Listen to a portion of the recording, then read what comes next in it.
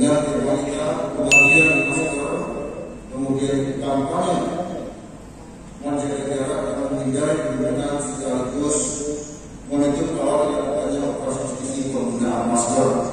penjagaan COVID atau protokol kesehatan dalam menghadapi pilkada serentak kemudian dalam suasana pilkada dan dalam rangka meningkatkan menggilarkan ekonomi kembali mari kita ikuti aturan dan himbauan dari pemerintah baik pemerintah provinsi, pemerintah pusat bahkan pemerintah kabupaten kota di Jawa Barat.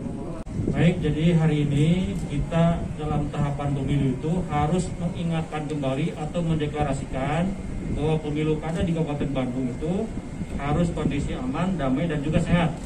Oleh karena itu, hari ini tadi eh, kita kurang lebih 200 ribu masker. Kalau se-Jawa Barat 3 jutaan, 3 juta lebih. Se-Indonesia 19 juta kalau tidak salah tadi. Dan mungkin akan tetap bertambah. Tujuannya kami bekerja sama dengan Pemda, Kejari maupun Dandi agar satu suara dengan partai dengan peserta pemilu sehingga dapat berjalan dengan aman dan sehat.